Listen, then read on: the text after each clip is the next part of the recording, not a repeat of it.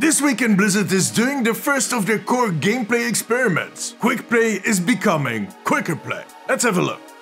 Hey guys, I'm Deemzies from the Omnic Post. In the weeks following BlizzCon, Aaron Keller, the game director for Overwatch, had hinted at some experiments that they were working on. They wanted to try some changes to the core game mechanics within quick play. In a blog post that was released earlier today, the team shared that they're planning to do the first of these experiments as soon as next weekend. They call these experiments Quick Play Hacked. It seems that adding a hacker hero in your roster pays off in multiple ways. And this specific hack is getting the name Quicker Play. It's a bit of a play on words, but it is a rather astute name, since this alternate version of Quick Play speeds up a lot of the core rules for the different game modes. Now we'll have a look at those new rules in a minute. First, let me do a bit of a, a prediction. I know for a fact that a rather substantial part of this community is going to get all worked up about this new idea. That tables are going to be flipped, that hissy fits will be thrown, that we're going to go all kindergarten on this shit. Uh, to be honest, the big part of the community is already worked up. Since the Winter Wonderland event started, the mood in the community has kind of flipped. And to a certain extent, for very understandable reasons. Reasons I actually agree with. Why add a bundle with a shit ton of tickets to the shop?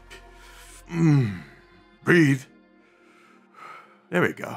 Other reasons are being created by some of my colleagues. Opinions that were pulled out of the dark cavities of their bodies, or that are only relevant to, let's say, 1% of the player base. All for the clicks. But those reasons are still being repeated over and over again by anybody that wants to sound as slightly interesting. It's like a drone army marching straight for my comments. On top of that, we as a species just do not like change. And gamers are kind of special. We don't like change, but we also complain that they don't change enough. Game development, so much fun, but to be honest, all of that is quite human. Well, except for the droning. And look, before you dive into my comments and say something like, I like change, but this is going to ruin the game, let me remind you. A, this is an experiment. They're trying to test something. B, it's only for a weekend. If you can't handle it, I don't know, work on your stamp collection. C, there is no way in hell that you can predict how this is going to turn out. We all seem to think that we're game designers, experts, that we know exactly what this game needs.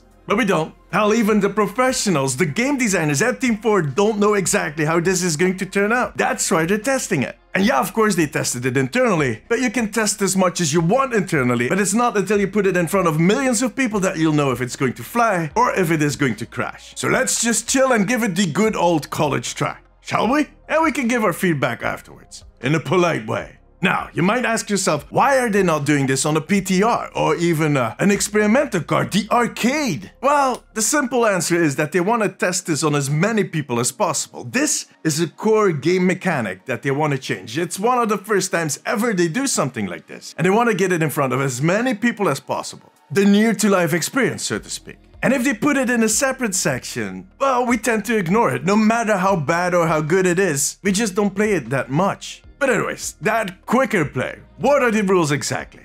Let's have a look. Respawning times are now 75% of their original time. This is one Aaron hinted at already a few weeks ago, that the spawn times would get substantially shorter. And personally, I thought they were going to be even shorter than this. Now, combined with the grouped respawn that we saw added to the game a few months ago, this might be interesting.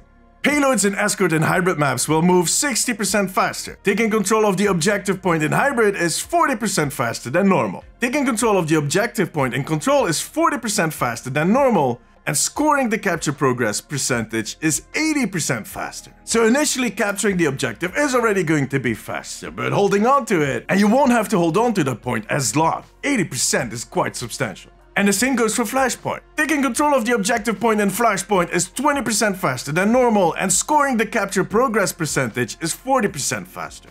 When you play an escort hybrid or push map, the initial match time has been reduced to 70% of the original time, and any time extension are also reduced to 70% of the total time added. That is a lot of numbers, uh, but I think the big word here is fast, which is going to result in less fights, and is going to make those matches a lot shorter. Not a bad thing with the uh, attention span of this community. On the other hand, there's also going to be less time or less room to reorganize and counter the enemy team, which I personally am going to miss. I love those games where we seem to get stomped for us to just change things around and end up winning eventually. That Hollywood moment. I love it. But we'll see. Yeah, like I said, it is hard to predict how this is going to pan out. Now, as I said, these changes are going to be in quick play for a limited time. So by January 14th, we should be back to normal. And competitive play and arcade are not affected by these changes. Look, as you might tell, I myself am quite looking forward to this experiment. I like change. And I love that they have the balls to add it to a popular game mode like Quick Play. They have the big corners. Overwatch has always been slightly chaotic, and 5 vs 5 has definitely bumped up the speed